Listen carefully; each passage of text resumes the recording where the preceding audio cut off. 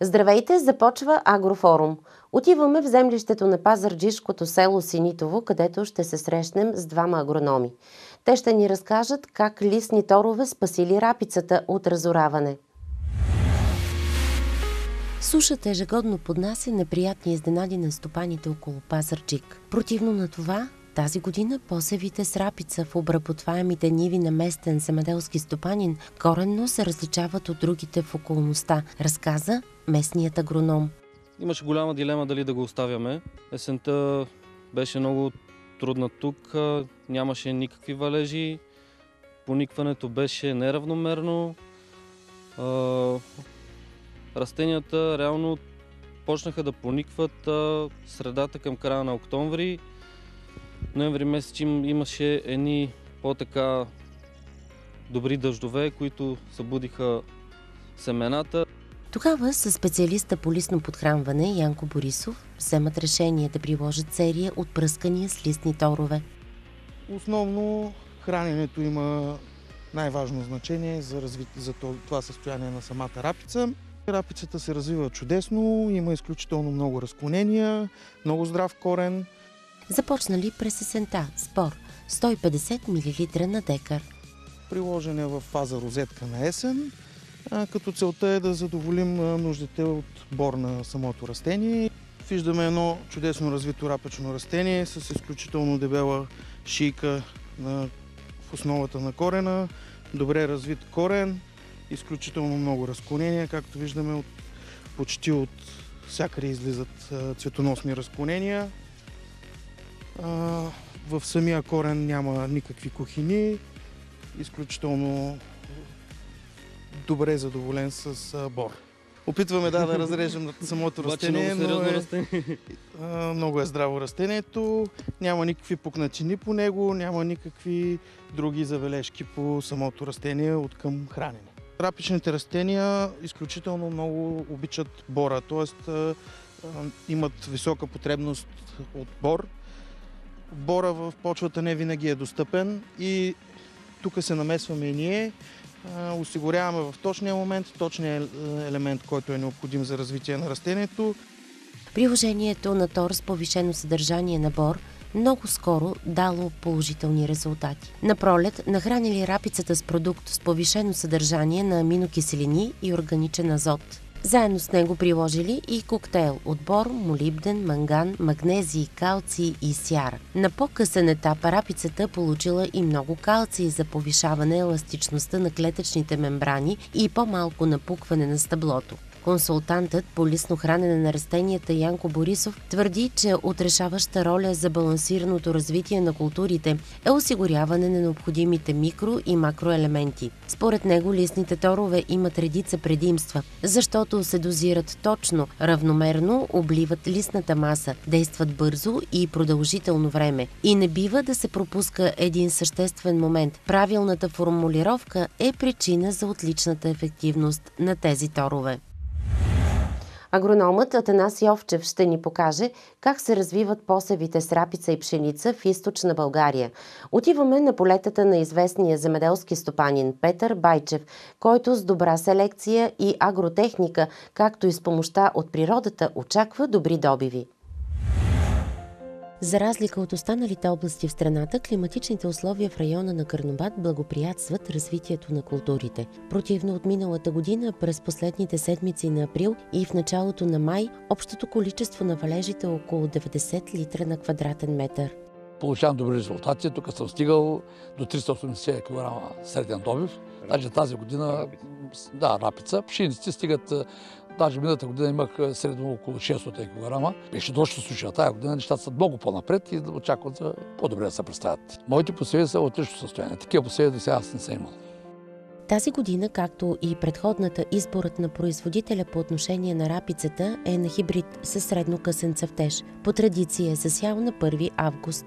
Преди 4 години имах рапицата тук 380 кг среден добив, след това имах 250 след това имах 200 една година, тая миналата година имах 305, тая година очаквам да стигна най-високия съдове, който съм стигал, малко да го надвиша. За момента състоянието на посевите, тук специално в това землище и на пшеници и на рапици, са наистина много добри. Но аз поне съм малко от суеверните хора и не бързам да казвам нещо предварително. Наистина изглеждат много добре, но накрая вече, когато оженям и видим какви са добите, тогава можем да дадем някакво заключение. Но за момента нещата са много добре, имаме си съответните валежи, валежи, които са били в точното време, така че се надявам тук нататък наистина да имаме много добри резултати. Според моментното състояние на посевите от рапица и пшеница, прогнозите на агронома за добива са доста оптимистични. Избраният от земеделския производител основен сорт пшеница е от ранната група. Много пластичен, не е толкова претенциозен. Както в Южна, така и в Северна България има изключително високи добиви от него. Естествено всичко зависи и от годината, и от главния агроном, но а, все пак това е една пшеница, която ако дори човек, който я ползва за първи път, може да е сигурен в а, един много-много стабилен и много добър добив. От 2-3 години насам се забелязва как всъщност хората предпочитат малко по-ранните продукти при пшениците и то е в тази гама от по-ранните пшеници, което дава една допълнителна сигурност, ако случайно дойдат високи температури, края на юни, началото на юли. Вече имаме, както виждате, и класа се е образува, почва да се налива зърното. Аз обикалям по България тази година на много малко места можем да видим такива посеви. И при пшениците, и при рапиците. Наистина, липсата на дъжд оказа много голямо въздействие. Тръгнаха много добре от начало. Не е като миналата година, когато в февруари месец бяха черни полета, нямаше поникнала пшеница. По тях тръгнаха много добре. Имахме много големи надежди. За жалост, в много от регионите, специално в Северна България, нещата не са много добре. Атанас Йовчев съветва от тук нататък да се правят наблюдения на пшеницата за поява на заболявания и при първи наченки да се влезе с необходимия препарат за растителна защита. Земеделието продължава в обичайния си ритъм, но предизвикателствата са още по-големи. Едно от тях е инвестирането в економични и ефективни машини. Земеделецът ще е още по-прецизен в избора си. Всеки знае кой предлага добър сервис и качествено обслужване и там ще се насочи, защото дори най-скъпата техника трябва да се обслужва. Някои компании вече предлагат онлайн конфигуратор, който ще може да покаже на земеделските стопани как да окомплектоват даден трактор с прикачен инвентар, дали си пасват и доколко ефективни ще бъдат в работен режим на полето. Специалистът по селско-стопански машини Мирослав Николов съобщи, че новости ще има на пазара на агротехника и те ще бъдат внедрени при тракторите от 170 конски сили. При нея има значително наброй подобрения по отношение на мощността, трансмисията, аксесуарите, които могат да се добавят. Сериозни подобрения са направени по, по електрониката на, на двигателите с цел да достигнем етап 5 на вредни емисии, като по този начин вредните газове ще бъдат изцяло пречистени и в атмосферата няма да се отделят почти никакви отровни емисии. Освен това, с тези подобрения отчитаме и по-висок въртящ момент на трактора, по-ниска економичност. Освен економия на гориво, земеделските производители търсят още екстри, които да облегчат работата на операторите, а и безусловно ще дадат по-висока производителност. Кабината е просторна, обезшумена. Имаме допълнително оборудване като пасажирска седалка, от основен подлакътник, върху който са разположени уредите за управление и някои от контролните прибори. Такива трактори са предназначени за работа в по-тежки условия и за по-големи обработваеми площи. В едно стопанство, да вземем за пример средно стопанство с обработваема площ между 5 и 7-8 хиляди декара. Този трактор ще служи за основните обработки на почвата, като оран, дисковане, работа с култиватори, подготовка за засеитба. Сериозният капацитет на навесната система предполага и възможност за агрегатиране на по-тежък прикачен инвентар. Хидравликата достига капацитет от 9000 кг, освен това, теглото на тракторите е над 7000 кг. Мирослав Николов съобщи за една много интересна тенденция на пазара на агротехника. С оглед лошите метеорологични условия през есенно-зимния период и продължилата суша през пролетните месеци, наблюдаваме известен спад в продажбите на земеделска техника. От няколко седмици, благодарение на последните дъждове, които, които паднаха, интереса на земеделските стопани отново се засилва. От страна на животновъдите има доста висока активност, тъй като предстои отваряне на мярка 4.1, която ще бъде с приоритет към животновъдния сектор. По отношение на вирусната пандемия, която притесни всички нас в целия свят, при земеделските стопани не се наблюдава особено голямо притеснение, тъй като всички сме наясно, че работата на полето не може да спре. И точно в този момент а, има множество обработки, които ще обезпечат с доходи цялата 2020 година. Точно за това навременните мероприятия, като сидба, окупаване, след това и жътва, са от много сериозно значение да бъдат извършени на време, правилно и с подходящата техника.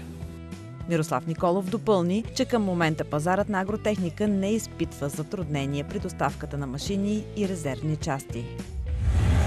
Той е уловил попътния вятър и го следва. Търси, мечтая и открива, че ако си упорит и с мъничко късмет, ще успееш. В Агрофорум следва среща с младия зеленчукопроизводител Светослав Петков. В началото Светослав започва от голо поле в родното му село Селце. После идват европейските пари по мярка млад фермер и отварят пътя. Днес младият зеленчукопроизводител разполага с закрита площ с поливна система и възможност за оптимален оборот. Първият транш от инвестицията по мярка Млад фермер помогнала на младия мъж да изгради част от заложената по проекта инвестиция. Вторият транш дошъл на време и доизградили оранжерията като всяка една помощ е нормално човек да се обърне към лостовите и механизмите за подпомагане и започване, стартиране на бизнес за млади производители. Както знаете е много трудно, защото в днешно време всичко е свързано с средства и преди да се насоча към нея, тя си съществуваше и реших да се запиша и да участвам. Трудности имаше доста. Проектът бе много добър начален старт за стартиране на стопанството, което виждате в момента, тъй като, както казах, е много трудно да се започне с собствени средства въпреки че е неизбежно. И по-нататък всичко това е вече резултат на донаграждане, дисциплина, постоянство и късмет най-вече. Трудностите, които срещнахме първо бяха през 2016 бях одобрен. Съответно, годината бе прекрасна и нещата се случиха като по, в приказките. Но за жалост през 2017 година в двете ни стопанства в резултат на лошите климатични условия два пъти бяхме ударени от градушка. Това означаваше наваксване две години подред с много усилия, тъй като бяхме почти пред фалит. Всичко инвестирано в предходната година и начертаните планове за бъдеще бяха на заден план, тъй като трябваше да продължаваме напред. И е, трябваше да си изпълня плана, където последваха още повече трудности. Бяхме на ръба да се откажем или не. Но, както казах, с много труд и усилия продължихме и сега през 2020 тази година ми свършва и ангажимента към договора. Успешно успяваме да изпълним плана. Светослав е само на 15 години, когато родителите му решават да се занимават с отглеждане на зеленчуци на открити площи. Задълженията и работата в градината на полето така го увлекли, че един ден, когато завършил висшето си образование, е решил, че ще става земеделец. Мечтата му е след направените първоначални инвестиции да надгражда стопанството, да увеличи площите с оранжериите и освен капковото напояване, което внедрил, да изгради и автоматични системи за растителна защита. Сега пръскането се осъществява с моторни пръскачки, което е много трудоемък процес и не толкова качествен, както може да бъде изградена една система, но се, но се надяваме, че с късмета ще успеем и това да направим. Модерното за момента в тези оранжери е, че лятото, когато стане много горещо, се засенчват с мрежа за засенчване. Сега в периода на първа и втора китка на домата слагаме бомбуси в тях за по-доброто опрашване. Растителната защита е съобразена спрямо нормите на турене, спрямо условията за растителна защита. Съобразяваме се с колегите пчелари където пръскането трябва да са вечер, когато няма летеж на пчелите. Всички пестициди, които използваме са съобразно съответните норми на ПРЗ-та. Ако го нямаше млад фермер, т.е. ако нямаше мярка млад фермер, щяхте ли да, да сте на това положение днес? Да, да имате това стопанство? Ами с сигурно щях да имам някакво стопанство, но може би нямаше да е същото, тъй като помощта си е помощ. Как смятате Европа, как трябва да подкрепя младите фермери? А, младите хора като вас? Защото вие сте се насочили. Виждам, че вие искате това да правите. Жал... Какво се иска още? Жалкото е, че подкрепата за младите фермери, фермери винаги е насочена в купа с големите и те трудно успяват да се преборят с големите и трябва държавата ни, както и Европа, да толерира и да дава възможност по-голяма и пряко свързана с младите производители, тъй като е много трудно без помощ, както в мое лице на близки, е много трудно да стартираш този бизнес. В активния сезон найма сезонни работници на еднодневни трудови договори, което означава, че мярката млад фермер не само успешно е проработила при него, но и осигурява препитание и на още хора. Имам пълното желание да се разраствам и да давам възможност за по-голяма работна ръка, за произвеждането на повече качествена продукция и съответно гражданите на тази държава да успяват да консумират нашата стока, чиста продукция, която е уникална, смея да кажа, за цяла Европа. Йоанна е част от екипа на оранжерията и отговаря за реализацията на продукцията. Реализацията може би е една от най-трудните моменти от производството, тъй като Пазарите са много променливи, търсенето е също доста променливо. И стараем се да произведем един хубав, качествен продукт, за да бъде оценен от потребителя. Опитваме се последните 3-4 години да създадем опаковка, която да придава нали, още един по-хубав вид на продукта. В процес на създаване на бранд сме, за да бъдем да се отличаваме от другите производители. В мен се събуди една обич към природата, към това да произведеш от едно семенце, да го отгледаш като едно детенце, докато дойде момента да обереш плодовете на труда ти. След около месец тук вече ще има розов домат. Очаква се на всяка китка да има плод. А ако сме късметлии, и ние може да опитаме от тях. Ефективността, която създава производството на маслодайна роза е в пъти по-висока от тази при производството на черупковите плодове, а държавата неглижира този бизнес, недоумяват производителите. Регламент за качество и отношение между производители и дестилерии вече има, но не и законодателна мярка за минимална изкупна цена на розовия цвят. Основните проблеми пред розопроизводителите тази година са свързани с мерките за безопасност, които налага пандемията и ниските изкупни цени към момента. Себестойността на продукта розов цвят е висока. Чистата себестойност. Като добавим и разходите за а, беритба, които са много над всичко останало, се получава една средна цена за производство на килограм розов цвят много над лев и 80-90. И при средна цена 2-2,20 това е на ръба на нулевата цена. Защото по-големите производители, аз не съм ангажиран с транспорта на цвета от мястото, където се бере до розоварната, която го изварява. Но това са разходи, които някой ги прави. И ако накрая съберем всички разходи, които правим ние, плюс розоварните, някак си нещата излизат много извън границите на тези 2,20 и е малко така не, некомпетентно да смея да твърда, че 2,20 е някаква добра цена. Таблиците, по които се изчисляват точките, с които да кандидатстваш за определените мярки, са изключително неблагоприятни. В смисъл, за да постигнеш някакъв ефект, трябва да създадеш някакъв мега масив. Значи с 5 до 10 декара е абсурд да кандидатстваш по каквато и да е мярка с маслодайна роза.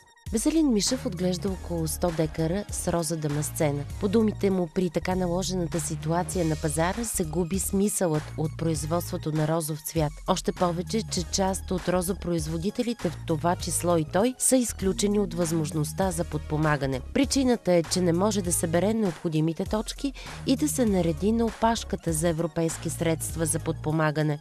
Трябва да добавя нещо. Примерно, аз съм се насочил нали, към маслодайна роза, но трябва да насея и 10 декара домати, за да направя а, някакъв а, коефициент, който да ми донесе а, нали, добра, добър бизнес план.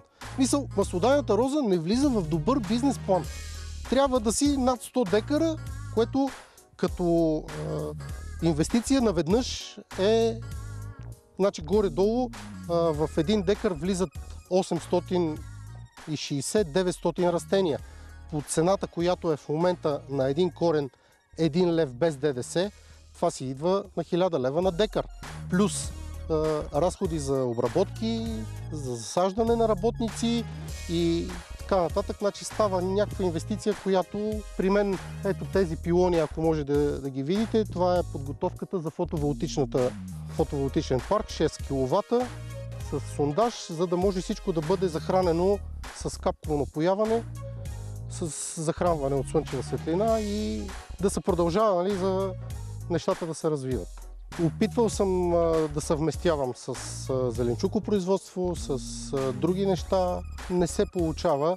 Значи, розата изглежда нали, е, леко мързелива и без много трудоемка, но в същото време се оказва, че като започнете горе-долу, тук е било Тютюнджийски район, значи горе-долу Тютюнджийска работа. Е, почваш от февруари и приключваш малко по-късно от октомври-ноември месец.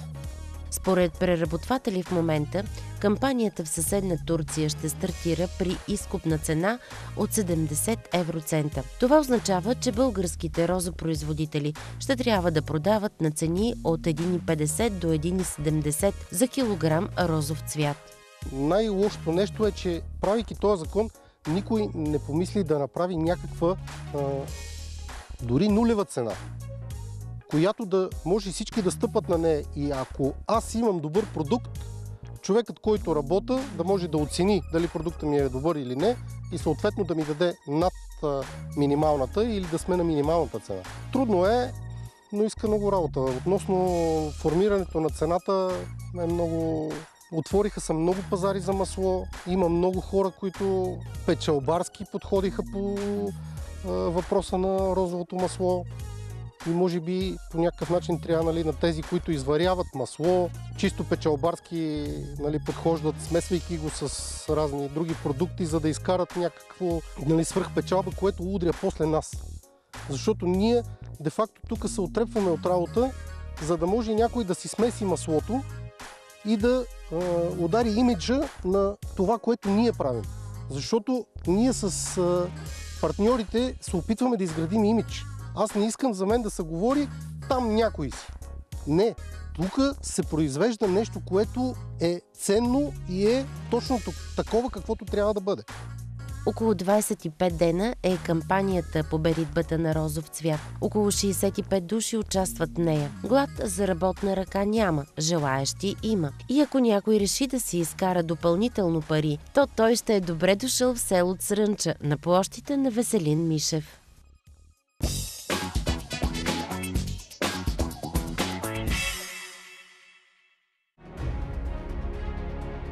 Перфектни бали по всяко време – Японски технологии за високо качество, функционалност и иновации.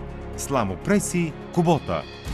Модели с фиксирана камера с размери на балата 120 на 125 см. Модели с вариокамера с ремъци с размер на балата 81,60 на 120 см и 81,80 на 120 см. Възможност за изобус управление. Подходящи за слама, сено и силаж бързина, качество, ниски експлуатационни разходи. Търсете от дилърите на КББГ. Само сега можете да си осигурите безупречен контрол на плевелите в Царевица на по-добра цена. На всеки закупени 200 литра екип получавате 10 литра безплатно. Екип се отличава с високо ниво на селективност към царевицата благодарение на антидотната си технология. Екип притежава безкомпромисно балорицидно действие и контролира широк спектър от едногодишни житни и широколистни плевели. Възползвайте се от промоцията до 10 юли. За повече информация се обърнете към вашия регионален представител на Байер. Байер, заедно постигаме повече. Бъдете информирани и във форма с нашите съвети. Движете се напред! Всичко за здравословния начин на живот на framar.bg EvoCleaner е единственият в света напълно автоматизиран робот за почистване на животновъдни ферми. Напълно автономно движение и до 30 часа работа на батерията без електрически кабели. Изключително нисък разход на вода и повишена продуктивност 24 часа в денонощието. Имитира прецизно човешките движения без персонал в опасна среда. Нулев риск за здравето и повече време на вашите служители в грижа за животните.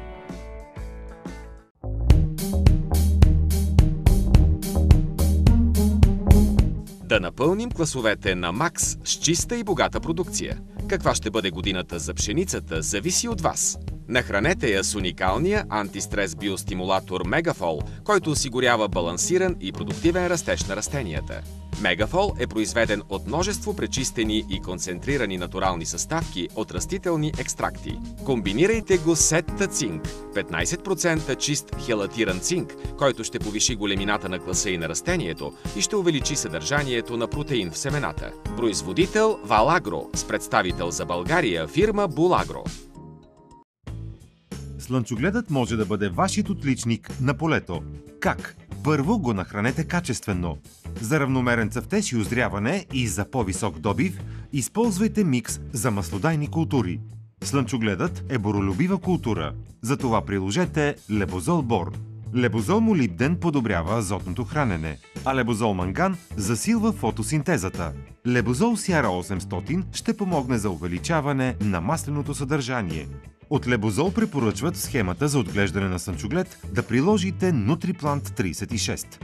И не забравяйте за класиката при листното хранене – Аминозол – спасението за вашите посеви в тежки ситуации на полето.